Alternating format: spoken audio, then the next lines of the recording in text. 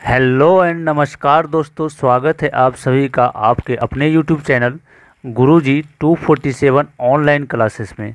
दो, दोस्तों आज का यह वीडियो कक्षा 10 एनसीईआरटी गणित वास्तविक संख्या का पार्ट फोर वीडियो होगा जिसमें कि हम लोग उदाहरण नंबर पाँच छः सात आठ और प्रश्न संख्या एक से सात तक एक्सरसाइज एक पॉइंट दो का प्रश्न संख्या एक से सात तक को कवर करेंगे।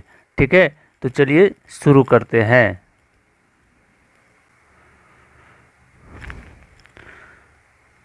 दोस्तों, इस वीडियो में सबसे पहले हम लोग देख लेंगे कि प्रमेय एक पॉइंट दो जो है एक्सरसाइज एक पॉइंट दो शुरू करने से पहले प्रमेय संख्या एक पॉइंट दो, जिसमें कि अंकगणित की आधारभूत प्रमेय का डिफिनेशन देखेंगे और अंक गणित की आधारभूत प्रमेय क्या होता है, इसके बारे में समझेंगे। ठीक है? इससे पहले दोस्तों, अगर आपको कहना चाहूँगा कि अगर यदि आप video part one, part two, part three नहीं देखे हैं तो कृपया करके आप चैनल के प्लेलिस्ट में जा कर के part one, part two, part three video देख लें, तब जा कर के आप ये सारा को अच्छी तरह से समझ में आएगी। ठीक है? और वीडियो शुरू करने से पहले एक बात और कहना चाहूँगा कि आप अगर यदि इस चैनल पर नए आए हैं तो कृपया करके चैनल को सब्सक्राइब कर लें और वीडियो को लाइक कर दें, क्योंकि दोस्तों वीडियो को बनाने में बहुत ही मेहनत लगता है, ठीक है ना? तो आप क्या करें, एक बार वीडियो को लाइक कर दें और ज़्यादा से ज़्यादा दोस्तों को शेयर कर दें, जिसमें कि हमारी मदद हो सके और दूसरों का भी मदद हो सके, ठीक है? तो चलिए शुरू करते हैं, क्या है परमय एक पॉइंट दो अंकगणित की आधारभूत परमय। इसमें क्या कहा गया है? कि प्रत्येक भाज्य संख्या को अभाज्य संख्याओं के एक गुणनफल के रूप में व्यक्त गुणनखंडित, ब्रैकेट में गुणनखंडित किया जा सकता है है ना? गुणनखंडित किया जा सकता है, तथा यह गुणनखंड अभाज्य गुणनखंडों के आने वाले क्रम के बिना अद्वितीय होता है। चलिए अब इसको समझते हैं कि ये क्या कह क्या रहा है। कह रहा है कि प्रत्येक भाज्य संख्या को अभाज्य संख्याओं के एक गुणनफल के गुणनफल के रूप में व्यक्त किया जा सकता है ना? कहने मतलब ये हुआ भाज संख्या जैसे मान चलिए कि पहला भाज संख्या क्या है कि चार ही ले लेते हैं, ठीक है? चार क्या है? एक भाज्य संख्या है। भाज और अभाज्य संख्या बताया है ना आपको? अगर यदि आपको नहीं पता है कि भाज अभाज्य क्या होता है तो आप सबसे पहले पार्ट वन वीडियो देख लें, उसमें सारा कुछ आपका क्लियर हो जाएगा, ठीक है? तो भाज करना प्रत्येक भाज संख्या को अभाज्य संख्या को गुणनखंड मतलब इसका जब गुणनखंड करेंगे इस तरह से, दो से देंगे क्या हो जाएगा यहाँ पर? दो आएगा, ठीक है ना? दो से देंगे दो कहने मतलब चार को क्या लिख सकते हैं? चार को लिख सकते हैं दो गुना दो के रूप में। इस तरह के रूप में लिख सकते हैं मतलब प्रत्येक भाज्य संख्या को अभाज्य संख्याओं के गुणनफल के रूप में लिखा जा सकता है ना? और यह गुणनखंड अभाज्य गुणनखंड गुणनखंडों के आने वाले क्रम के बिना अद्वितीय होगा। इसका कहने का मतलब ये हुआ, इस दो को, ये वाले दो को आगे लिख दें, चाहे ये वाले दो को आगे लिख दें या पीछे लिख दें, कोई फ़र्क नहीं पड़ेगा। चलिए एक और एग्ज़ाम्पल लेते हैं, दूसरा। दूसरा एग्ज़ाम्पल ये है कि जैसे मान चलिए कि छः है। ठीक है? इसको अभाज्य गुणनखंड इसका करते हैं तो दो से देंगे तो कितना हो जाएगा यहाँ पर? तीन होगा। तो कहने मतलब क्या होगा? इसका जो गुणनफल का रूप होगा, क्या होगा? दो गुना तीन, है ना? छः को लिख सकते हैं दो गुना तीन के रूप में। तो कहने का मतलब ये होगा कि इसको तीन गुना दो भी तो लिख सकते हैं। लिख सकते हैं, नहीं लिख सकते हैं? तीन गुना दो भी लिख सकते हैं। तो कहने का मतलब यही हुआ कि अभाज्य गुणनखंडों के, चलिए अभाज्य गुणनखंडों के आने वाले क्रम के बिना क्या होता है? अद्वितीय होता है। मतलब किधर से भी लिख देंगे तो उसका कोई फ़र्क नहीं पड़ने वाला चलिए, अब उदाहरण में चलते हैं। इसका तो यूज़ चैप्टर में हो जाएगा आपको। उदाहरण से शुरू करते हैं। तो उदाहरण नंबर पाँच। इससे पहले हम लोग एक, दो, तीन, चार तक का जो है उदाहरण नंबर पार्ट थ्री वीडियो में देख चुके हैं। तो उस वीडियो को भी देख सकते हैं आप जाकर के। उदाहरण नंबर पाँच कह रहा है। उदाहरण नंबर पाँच क्या कह रहा है? देखिए, संख्याओं चार पर पावर एन पर विचार कीजिए। जहाँ एन एक क्या है? प्राकृतिक संख्या है। एन क्या है? प्राकृतिक संख्या है। जाँच कीजिए कि क्या एन का कोई ऐसा मान है जिसके लिए चार पर पावर एन शून्य पर समाप्त होता है। चार पावर एन क्या होता है? शून्य पर समाप्त होता है, ठीक है ना? तो चलिए तो इसका हल देख लेते हैं क्या है। हल कैसे करेंगे? तो सबसे पहले लिखेंगे, यदि एन के किसी मान के लिए चार के पावर एन शून्य पर समाप्त हो तो वह पाँच से विभाज होगा। क्वेश्चन देखिए क्या कह रहा है, कि क्वेश्चन कह रहा है आपका, पहले क्वेश्चन बढ़िया समझ लेते हैं। क्वेश्चन कह रहा है कि चार के पावर एन पर विचार करना है और एन एक प्राकृतिक संख्या है। जाँच कीजिए कि एन का कोई ऐसा मान है जिसके लिए चार के पावर एन शून्य पर। कहने मतलब चार पर कोई पावर ऐसा रखेंगे, कोई ऐसा होगा, सवाल का कहने मतलब ये है, कोई ऐसा पावर होगा जो कि पावर रख देने पर चार जो है कहाँ पर समाप्त होगा, वो शून्य पर समाप्त होगा। इसके लिए हल में ये देखा जाएगा, यदि एन के किसी मान के लिए चार के पावर एन शून्य पर समाप्त होगी तो वह किससे विभाज होगा? पाँच से निश्चित रूप से पाँच से विभाज जैसे मान चलिए कोई संख्या के लास्ट में अगर यदि ज़ीरो है है ना?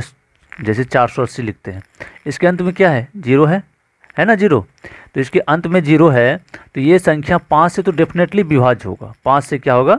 पाँच से डेफिनेटली विभाज्य हो जाएगा मतलब कट जाएगा, ठीक है ना? पाँच से कट जाएगा।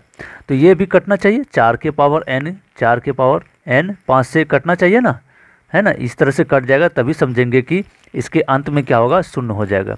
तो चलिए देख लेते हैं कि कटता है कि नहीं कटता है। तो सबसे पहले यहाँ देखिए, क्या है कि अर्थात चार के पावर एन का एक गुणनखंड क्या होगा? पाँच होगा। लेकिन चार के पावर एन का जब गुणनखंड किया जाता है, देखिए चार को जब गुणनखंड करेंगे तो क्या होगा? दो और दो यहाँ। दो गुना दो दो बार लिखा जाएगा। और एन है पावर में तो यहाँ पर क्या किया गया? एन लिखा गया।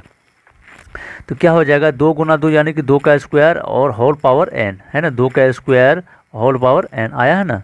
उसके बाद चलिए, इसको लिख सकते हैं, दो के पावर दो एन लिख सकते हैं क्योंकि ये दोनों क्या हो जाता है? आपस में गुना हो जाता है, ठीक है? ये दोनों क्या हो जाता है? गुना हो जाता है।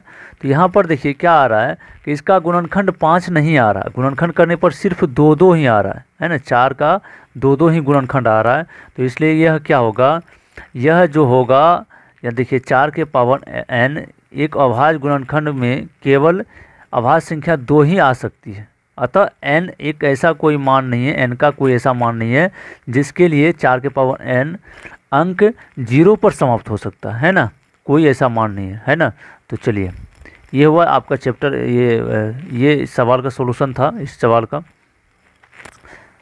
उदाहरण नंबर सिक्स देखिए। उदाहरण नंबर सिक्स में कह रहा है कि संख्याओं उदाहरण नंबर सिक्स देखिए।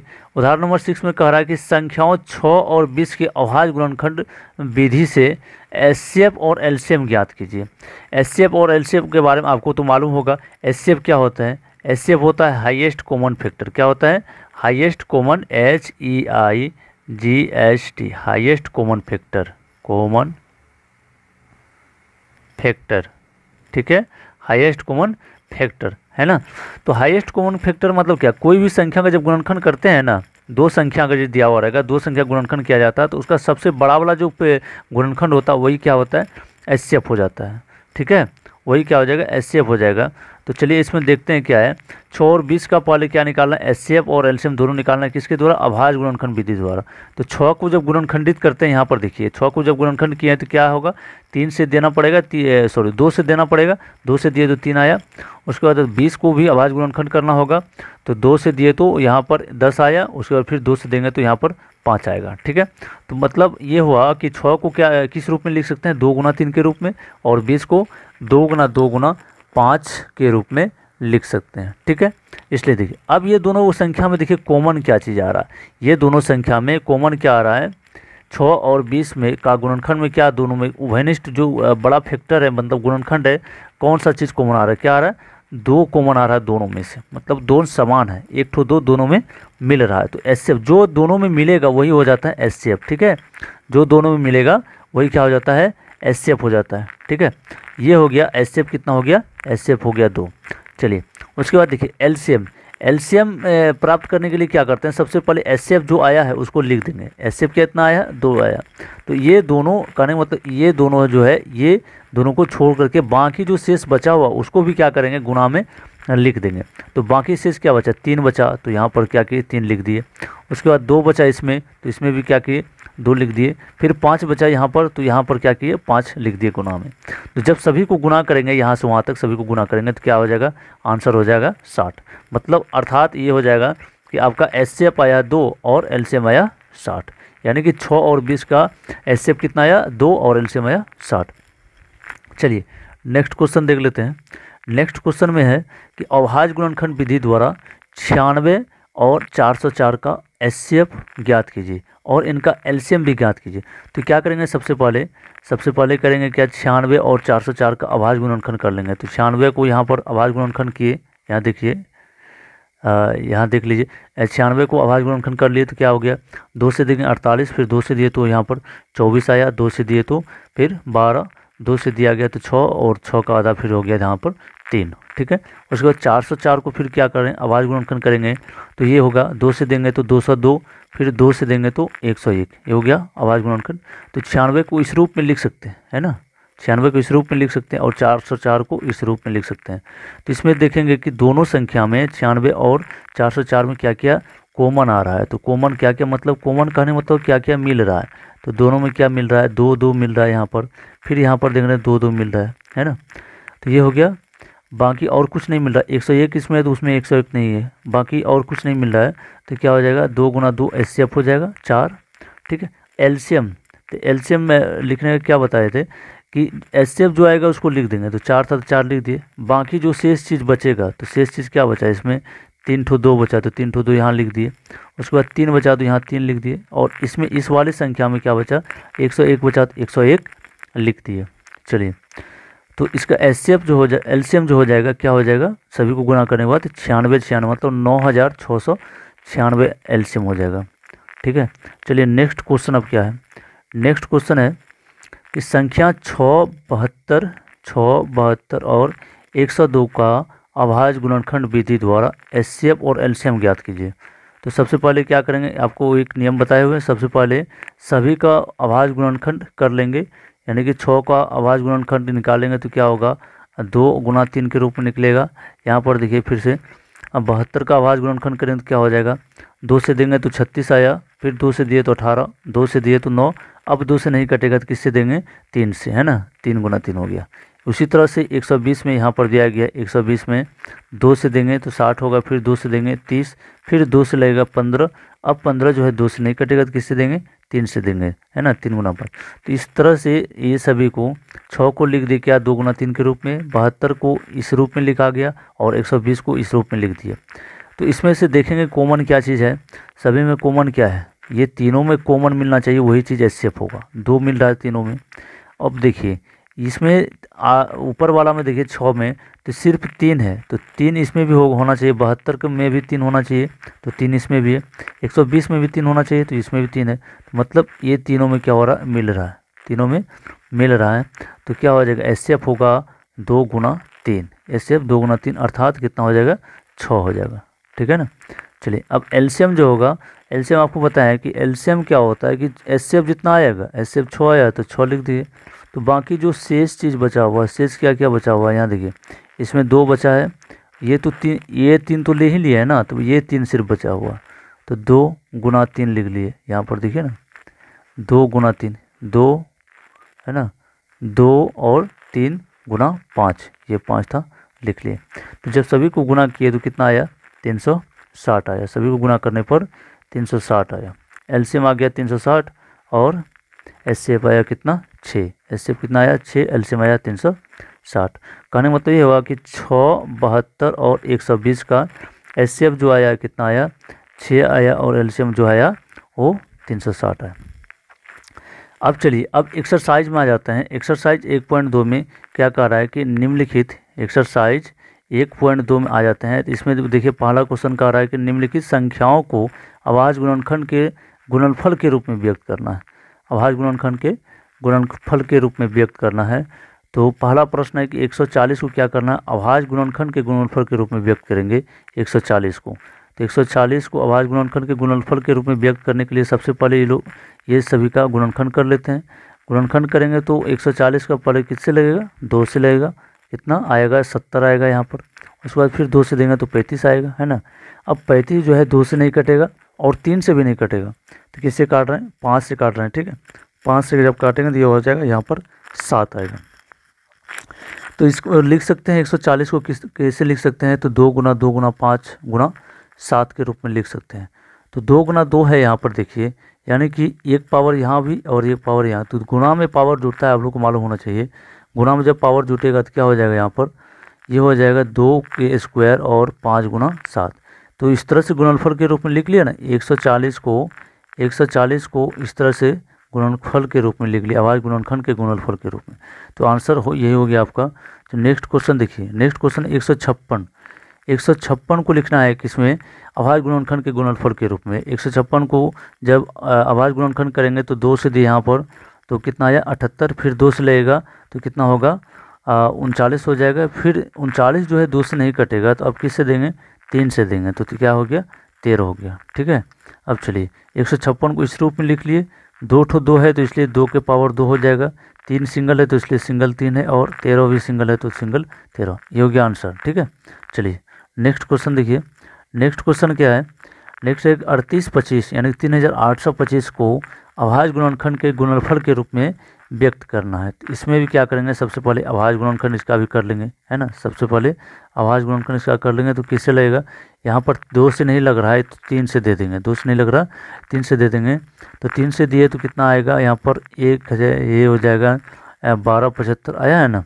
उसके बाद आप लोग करके देख लीजिएगा, हम ऐसे शॉर्ट में बताते जा रहे हैं जल्दी जल्दी, ताकि आपको समय कम लगे और वीडियो बनाने में ज़्यादा देरी नहीं हो सके, ठीक है? तो तीन से देंगे तो यहाँ हो जाएगा बारह सौ पचहत्तर, उसके बाद फिर तीन से लगेगा। दो से तो नहीं कटेगा, ये हो जाएगा चार सौ पच्चीस, उसके बाद फिर पाँच से देंगे तो ये हो जाएगा पचासी, फिर पाँच से देंगे तो ये हो जाएगा सत्रह, ठीक है? चलिए, अब अड़तीस पच्चीस को क्या लिख सकते हैं? तीन गुना तीन, पाँच गुना पाँच गुना सत्रह लिख सकते हैं। तो ये हो जाएगा तीन स्क्वायर, चूँकि तीन दो ठो है, पाँच स्क्वायर, पाँच भी दो ठो है, और सत्रह के लिए तो सिर्फ़ सत्रह लिख देंगे, ठीक है? चलिए, ये हो गया आपका आंसर, ये आपका आंसर हो गया। चलिए, नेक्स्ट क्वेश्चन है कि पाँच हज़ार पाँच को आभाज गुणनखंड के गुणनफल के रूप में व्यक्त करना है। तो क्या करेंगे? पाँच हज़ार पाँच को डायरेक्ट अब क्या होगा? ये पाँच से लगेगा। ये ना तो दो से लगेगा, ना ही तीन से लगेगा। जब पाँच से देंगे तो क्या हो जाएगा? एक हज़ार एक आएगा। उसके बाद देखिए, फिर पाँच के बाद किससे लगेगा? ये सात से लगेगा। पाँच से उसके बाद नहीं लगेगा। सात से लगेगा तो ये हो जाएगा एक सौ तैंतालीस। एक सौ तैंतालीस देखिए, उसके बाद ग्यारह से कटेगा। ग्यारह से, सात के बाद सीधा ग्यारह से कट जाएगा, जो कि तेरह बार में ग्यारह से कटेगा। ठीक है? अब इस तरह से इसको लिखा गया, पाँच गुना सात गुना ग्यारह गुना तेरह। ये आपका आंसर हो गया। ठीक है? चलिए।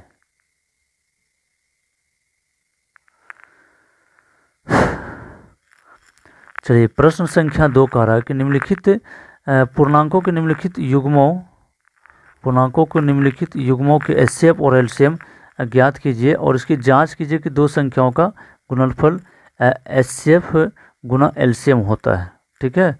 दो संख्याओं का गुणनफल बराबर क्या होता है? एस सी एफ़ गुना एलसीएम होता है। ठीक है? अब चलिए, पहला क्वेश्चन है कि 26 और इक्यानवे। छब्बीस और कितना है? इक्यानवे। छब्बीस, इक्यानवे का पहले क्या करेंगे? आभास गुणनखंड कर लेंगे। उसके बाद जितना एस आएगा एलसीएम आएगा, उसके बाद क्या करेंगे? दोनों को जाँच लेंगे। ये सही है कि गलत है? तो जब इसका भाज गुणनखंड किए तो दो से दिए कितना आया? तेरह। उसके बाद सात से दिए यहाँ पर तो इक्यानवे। हो जाएगा तेरह सत्तर इक्यानवे, है ना? अब छब्बीस को लिखे क्या? दो गुना तेरह और इक्यानवे को लिख सकते हैं क्या? सात गुना तेरह। तो दोनों में कॉमन क्या चीज़ है? दोनों में कॉमन है तेरह। तो एस कितना हो जाएगा? तेरह हो जाएगा। तो बाकी एलसीएम उसके बाद देखिए एलसीएम क्या बताए थे? एस को लिख लेते हैं, जो बचेगा उसको फिर उतार देंगे गुना के रूप में। तो बचा क्या? दो बचा और यहाँ पर सात बचा, है ना? तो ये एलसीएम हो जाएगा कितना? एक हो जाएगा। चलिए, अब जाँच कर लेते हैं। जाँच में कैसे जाँच करेंगे? देख लीजिए। पहली संख्या आपको दिया हुआ, कितना दिया हुआ? छब्बीस। ऐसा क्वेश्चन में ये चीज़ आपको प्रश्न में दिया हुआ। छब्बीस पहला संख्या, दूसरा संख्या है इक्यानवे एस कितना आया? तेरह आया और एलसीएम आया एक सौ बिरासी। तो आपको सूत्र, नहीं मालूम है तो सूत्र यहाँ लिख दिए हैं कि सूत्र क्या होता है?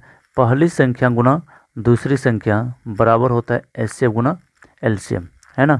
ये सूत्र होता है, इसी से जांचा जाएगा। ये सूत्र आपको याद रखिएगा, जो कि ऑब्जेक्टिव बनाने में भी आपको मदद करेगा और एक्सरसाइज के सवाल बनाने में भी मदद करेगा। ठीक है, इस सूत्र बहुत ही इंपॉर्टेंट सूत्र है, इसी से जो है कि चार सूत्र निकल जाता है ना? पहली संख्या गुना दूसरी संख्या बराबर होता है क्या? एस गुना एल आपको चारों सूत्र याद रखने का ज़रूरत नहीं है, अगर एक सूत्र सिर्फ़ ये याद है तो। सारा प्रश्न, सभी तरह का प्रश्न इसमें बन जाएगा एस और एल से संबंधित। ठीक है? चलिए, पहला संख्या कितना है? छब्बीस दिया हुआ है। पहला संख्या देखिए ना यहाँ पर?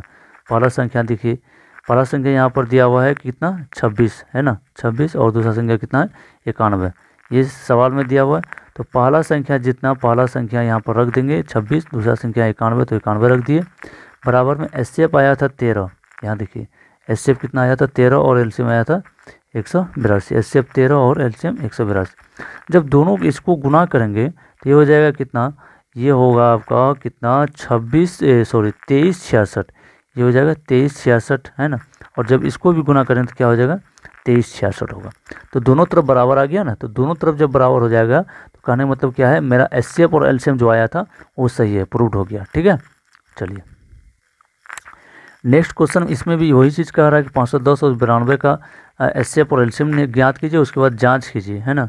तो क्या करेंगे? आवाज़ गुणनखंड कर लेंगे। आवाज़ गुणनखंड करने के बाद 510 को इस रूप में लिखा जा सकता है। उसके बाद बिरानवे को इस रूप में लिखा जा सकता है ठीक है?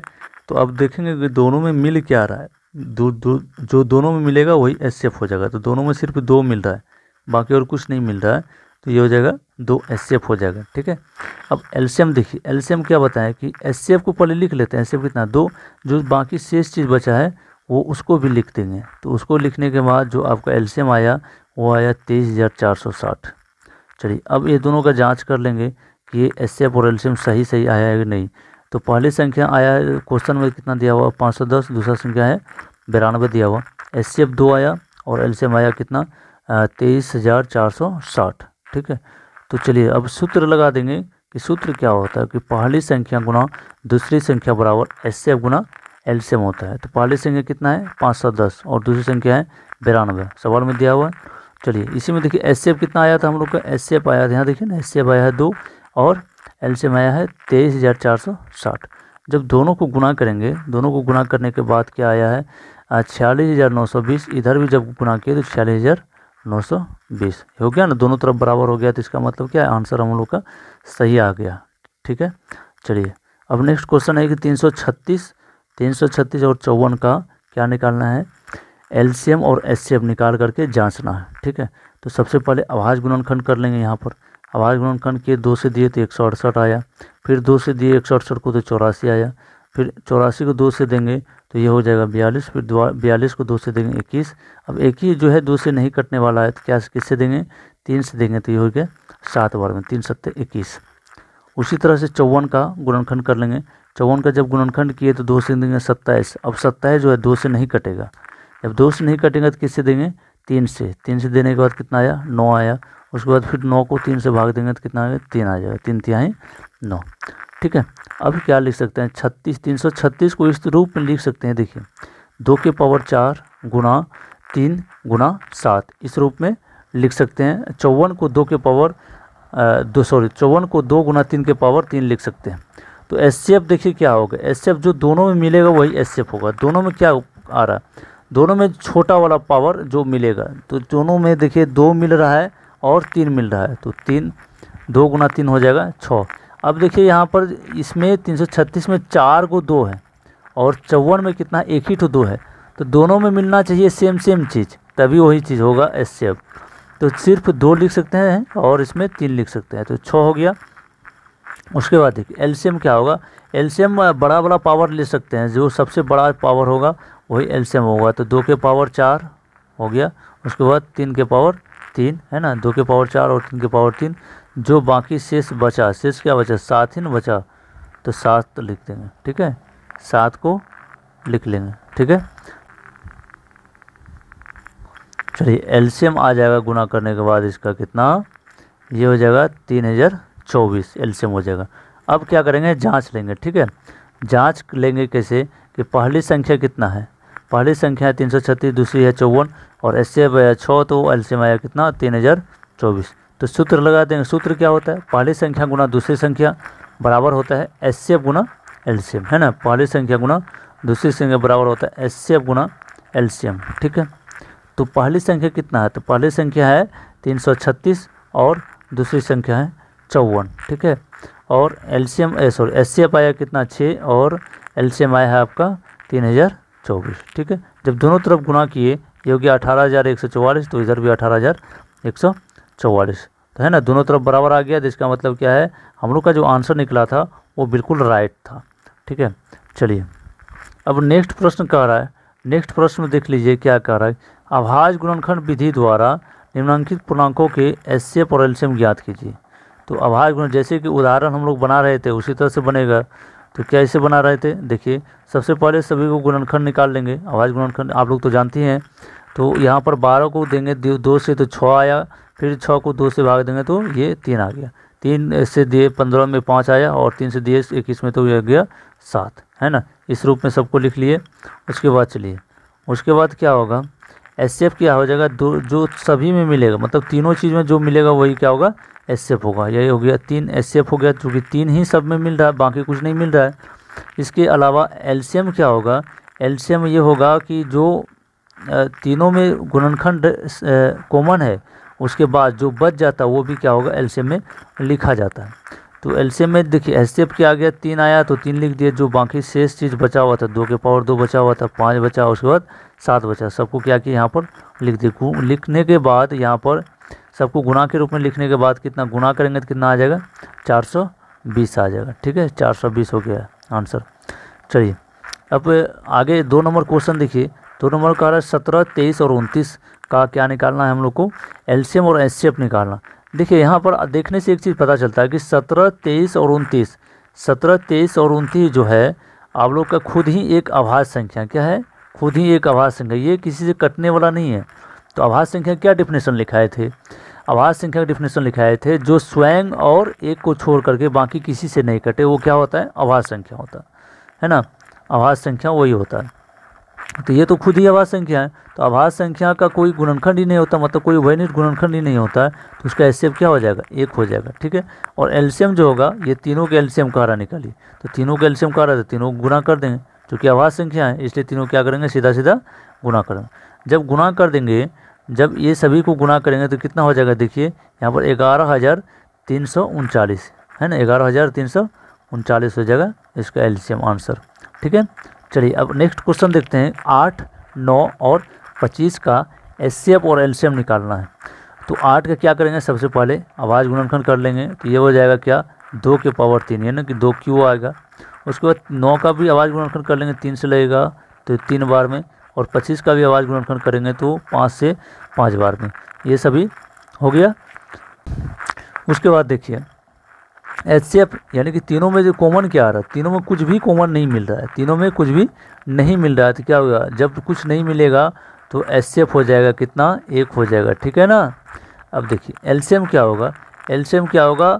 जब कुछ मिला ही नहीं तो सभी को क्या करेंगे? गुना कर देंगे। सभी को लिख करके गुना कर, दो के पावर तीन यहाँ पर आया है तो आठ के बदले दो के पावर तीन यहाँ लिख लेंगे। नौ के बराबर में ले गया है कितना? तीन स्क्वायर, है ना? और पाँच को पच्चीस को पाँच के स्क्वायर ठीक है ना? ये हो गया आठ गुना नौ गुना पच्चीस सबको जब गुना करेंगे तो कितना हो जाएगा? अठारह सौ। ये हो गया आंसर आपका, ठीक है? चलिए चार नंबर में देख लेते हैं, प्रश्न क्या है? चार नंबर में प्रश्न है आपका, देख लीजिए। चार में कह रहा है कि एस सी एफ़ ऑफ़ तीन सौ छः एंड छः सौ सत्तावन, है ना? दिया हुआ है कितना? नौ दिया हुआ है। तो कह रहा है एल्शियम ऑफ़ तीन सौ छः और छः सौ सत्तावन का ज्ञात कीजिए। मतलब एस दिया हुआ कितना कितना का? तीन सौ छः और छः सौ सत्तावन का कितना दिया हुआ? है नौ दिया हुआ है। तो हम लोग को एल्शियम निकालना है तीन सौ छः और छः सौ सत्तावन का। तो इसमें क्या होगा कि सूत्र लगाएँगे हम लोग। आप लोग को बताए थे कि सूत्र बहुत काम का चीज़ है, उस सूत्र को याद कर लीजिएगा आप लोग। ठीक है? तो यहाँ पर सूत्र लगा देंगे। पहली संख्या क्या है? पहली संख्या है कि तीन सौ छः दूसरी संख्या है छः सौ सत्तावन। एस क्या है? नौ आया है तो हम लोग को एस एल्शियम ज्ञात करना एल्शियम नहीं मालूम है ना? एल्शियम जब नहीं मालूम है तो वो ज्ञात करना है तो क्या करें? ज्ञात करने के लिए सबसे पहले सूत्र लिख लेंगे। ज्ञात करने के लिए सबसे पहले सूत्र लिख लेंगे। सूत्र क्या होता है कि पहली संख्या गुना दूसरी संख्या बराबर होता है एस सी गुना एल्शियम तो हम लोग को मालूम है कि पहली संख्या कितना है? देखिए, पहली संख्या यहाँ पर देखिए ना, पहली संख्या दिया हुआ है ना, तीन सौ छः पहली संख्या तीन सौ छः दूसरी संख्या छः सौ सत्तावन, इस तरह से दिया गया है। तो यहाँ पर जहाँ जहाँ लिखा हुआ पहली संख्या वहाँ पहली संख्या बैठा देंगे। दूसरी संख्या की जगह में दूसरी संख्या और एस सी एफ़ नौ है तो एस सी एफ़ नौ। तो एल्शियम तो हमको ज्ञात ही करना था एल्शियम को एल्शियम ही लिख देंगे। चलिए, उसके बाद इसको क्या लिख सकते हैं? बराबर के उस पार में जाने के बाद ये नौ को क्या करेंगे? उस पार भेजेंगे। एलसीएम आपको अपनी जगह पर रहने देंगे। यहाँ पर उल्टा पुल्टा कर दिए। एलसीएम को इधर उधर कर दिए इस पार और ये सभी संख्या को उस पार भेजे। तो ये हो जाएगा तीन सौ छः ये नौ जो है गुना में है तो उधर जा कर के किसमें हो जाएगा? बट्टे में, है ना? नौ गुना में था तो वो जाके बट्टे में हो गया। जब भाग दिए तीन सौ छः में, नौ से नौ से जब काटेंगे तीन सौ छः को, कितना बार में कटेगा ये? चौंतीस बार में कटेगा। समझ रहे हैं ना? उसके बाद चलिए। अब क्या बचा? ऊपर में बचा चौंतीस गुना छः सौ सत्तावन। नीचे तो नौ कट ही गया। तो जब दोनों को गुना किए तो कितना आ गया? बारह हज़ार तीन सौ अड़तीस। ये हो गया आपका आंसर। ठीक है? चलिए। अब चलिए सेम देख लिए एक उदाहरण इसी तरह का अभी बनाए थे तुरंत। पाँच नंबर का उदाहरण आपको बना के दिए थे कि जाँच कीजिए कि उसमें लिखा हुआ था चार के पावर एन किसी शून्य पर जाके समाप्त होता है। तो इसमें क्या है? छः के पावर एन किसी संख्या के लिए छः पर पावर एन अंक शून्य पर समाप्त होता है। तो इसमें भी क्या करेंगे? लिखेंगे सबसे पहले कि यदि एन के किसी मान के लिए छः के पावर एन क्या होगा? शून्य पर समाप्त होगी तो वह किससे विभाज होगा हमेशा? पाँच से निश्चित रूप से विभाज होगा। कोई भी संख्या अगर यदि शून्य पर से, शून्य पर जाके समाप्त होता है तो वो संख्या पाँच से विभाज ही होगा। हमेशा इतना ठो याद रखिएगा, ठीक है? चलिए, ये देख लीजिए आगे। यह है कि इसलिए अर्थात में हो जाएगा कि छः के पावर एन का एक गुणनखंड क्या होगा? पाँच होगा, ठीक है ना? लेकिन लेकिन, यहाँ पर देखिए, जब छः का आभाज गुणनखंड करेंगे, जब छः का आभाज गुणनखंड करेंगे यहाँ पर तो ये दो से देंगे तो तीन। यानी कि दो गुना तीन आ जाएगा। तो दो गुना तीन इसमें पाँच कहीं नहीं आया है। अगर पाँच आ जाता तो ये संख्या क्या होता? है छः के पावर एन क्या होता है? शून्य पर जाके समाप्त होता है। पाँच नहीं आया तो इसलिए यह क्या होगा? शून्य पर जाके समाप्त नहीं होगा। ठीक है ना? चलिए तो इसलिए लिखेंगे, यहाँ हम देखते हैं कि छः के पावर एन कि आभाज गुणनखंडों में केवल क्या आ रहा है? केवल आभाज संख्या दो और तीन ही आ रहा है, जैसा कि यहाँ आप देख रहे हैं। दो और तीन ही आ रहा, आ सकता है। तो अतः क्या होगा? एन का कोई मान नहीं होगा, जिसके लिए छः के पावर एन ज़ीरो पर जाके समाप्त होगा, है ना? ऐसा कोई मान ही नहीं है जो कि छः के पावर अगर एन में रख दें, वो ज़ीरो पर जाके समाप्त होगा, ठीक है? चलिए, नेक्स्ट प्रश्न कह रहा है कि व्याख्या कीजिए कि सात गुना ग्यारह गुना तेरह जोड़ तेरह और सात गुना छः गुना पाँच गुना चार गुना तीन गुना दो गुना एक, जोड़ पाँच, है ना? जोड़ कितना है? पाँच। भाज संख्या। इसको प्रूव करना है कि भाज है कि नहीं तो इसको कैसे लिख सकते हैं? देखिए, सात गुना ग्यारह गुना तेरह जोड़ तेरह को यहाँ पर दोनों टर्म में यहाँ से यहाँ तक का पद में, यहाँ से यहाँ, देखिए, यहाँ से यहाँ तक का पद, उसके बाद जोड़ के बाद वाला पद। दोनों में क्या कॉमन आ रहा है? तेरह कॉमन आ रहा है। कॉमन मतलब जो दोनों में समान चीज़ है, उसको ब्रैकेट के बाहर कर लेंगे। तो तेरह कॉमन है जब तो यहाँ क्या क्या बच गया तेरह को ले लिए तो सात और ग्यारह बचा ना? सात, ग्यारह। और यहाँ तेरह था तो तेरह ले ही ले लिए तो बचा क्या गुना में? एक ही ना बचा तो एक लिख लिया तो अब देखिए, ये तेरह जो बाहर में आया तो ये कहने मतलब पूरा का पूरा संख्या, एक मिनट देख लीजिए। ये जो है पूरा का पूरा संख्या किससे विभाज होगा? ये तेरह से विभाज होगा। निश्चित रूप से जो कि तेरह गुणनखंड जो है, इसका तेरह कॉमन आया तो क्या होगा? तेरह से विभाज होगा। ठीक है ना? अब चलिए, उसी तरह से आगे का प्रश्न, आगे का जो है, ये सात गुना छः गुना पाँच गुना चार गुना तीन गुना दो गुना एक प्लस में पाँच है तो ये सभी को मैं ये, इसमें देखिए, पाँच है दोनों में, प्लस के बाद भी, प्लस के पहले भी, है ना? पाँच क्या हो जाएगा? गुणनखंड के रूप में आ जाएगा। ठीक है? तो उसके बाद जब पाँच ले लिए, गुणनखंड के रूप में बचा क्या? तो पाँच के छोड़ करके जो भी सब संख्या है तो वो सभी बच जाएगा यहाँ पर, है ना? उसके बाद यहाँ पर पाँच था तो पाँच ले लिए, ले ही लिए प्लस के बाद। प्लस के बाद पाँच था तो पाँच ले लिए तो बचेगा क्या? सिर्फ़ एक बचा, है ना? चलिए, उसके बाद जब इसमें पाँच आ गया, कॉमन तो ये भी संख्या क्या होगा? पाँच से भाज्य होगा। पाँच से क्या होगा? विभाज्य होगा। जब संख्या कट जाता तो वो क्या हो जाता है? भाज संख्या होता है। अर्थात इतना और ये क्या हो जाएगा? एक भाज संख्या होगा। चलिए, सात नंबर प्रश्न देखिए। किसी खेल के मैदान के चारों ओर एक वृत्ताकार पथ है। कैसा पथ है? वृत्ताकार पथ है। इस मैदान का चक्कर लगाने में सोनिया को कितना? अठारह मिनट लगता है। कितना? अठारह मिनट। और जबकि रवि को बारह मिनट लगते हैं। मान लीजिए वे दोनों एक ही स्थान पर और एक ही समय पर चलना प्रारंभ करके एक ही दिशा में चलते हैं। एक वृत्ताकार पथ है, सोनिया, और कौन है? रवि। यहाँ से ही शुरू करता है है ना? यहाँ से दौड़ना शुरू करता है, इसके चक्कर लगाना शुरू करता है, इस तरह से, है ना? इस तरह से चक्कर लगाना शुरू करता है। जो एक ही स्थान पर से, एक ही स्थान से, देखिए, एक ही स्थान से, ऐसे यहाँ से शुरू करता है तो यहीं से एक ही स्थान से शुरू करता है, और एक ही समय में। लेकिन क्या होता है, कोई तेज़ दौड़ता है, कोई धीरे दौड़ता है, जिसके कारण किसी को ज़्यादा समय लगता है, और किसी को कम समय लगता है है ना? तो क्या होता है, सोनिया अठारह मिनट में दौड़ लेती है और रवि क्या करता है, बारह मिनट में दौड़ लेती है। तो कह रहे वे दोनों पुनः प्रारंभिक स्थान पर कब मिलेंगे? तो इस तरह के सवाल में हमेशा क्या किया जाता है एल्शियम निकाला जाता है। तो दोनों की क्या करेंगे एल्शियम निकाल लेंगे, ठीक है? आवाज़ गुणनखंड विधि द्वारा दोनों का एलसीएम निकालेंगे। तो आवाज़ गुणनखंड की अठारह का और बारह का। तो क्या होगा, दो गुना तीन के पावर दो और यहाँ पर दो स्क्वायर गुना तीन। तो दोनों का आवाज़ गुणनखंड करने पर इस तरह से प्राप्त हुआ। तो एल्शियम देख लीजिए क्या हो। एल्शियम ही निकालना है तो एल्शियम क्या होगा? बताए थे सबसे बड़ा वाला पावर तो दोनों में बड़ा दो दो में से यहाँ दो में एक पावर है, यहाँ दो में दो पावर तो दो में दो पावर आ जाएगा, बड़ा पावर हो जाएगा। और यहाँ पर तीन के पावर दो है या तीन के पावर एक तो तीन के पावर दो आ जाएगा, बड़ा पावर ही एल्शियम होता है। आप लोगों को पता है सबको तो क्या हो जाएगा ये? तो चार, दो के पावर दो करेंगे चार, और तीन के पावर दो करेंगे तो कितना हो जाएगा? नौ हो जाएगा। तो जब दोनों गुना करेंगे तो ये हो जाएगा छत्तीस। अर्थात वे दोनों जब मिलेंगे तो कितना समय के बाद? छत्तीस मिनट के बाद दोनों एक जगह जा कर के कहीं न कहीं जाके मिल जाएँगे। अर्थात वे दोनों जो है, वे दोनों 36 मिनट के बाद जा कर के कहीं न कहीं एक मिनट में एक जगह पर कहीं न कहीं जा कर के मिल जाएँगे। ठीक है? अगर यदि आप अभी तक चैनल को सब्सक्राइब नहीं किए हैं तो सब्सक्राइब कर लें और लाइक कर दें। वीडियो को ज़्यादा से ज़्यादा लोगों तक शेयर कर दें। ताकि किसी दूसरे का भी मदद आपके माध्यम से और मेरे माध्यम से हो सके, है ना? चलिए थैंक यू फॉर वॉचिंग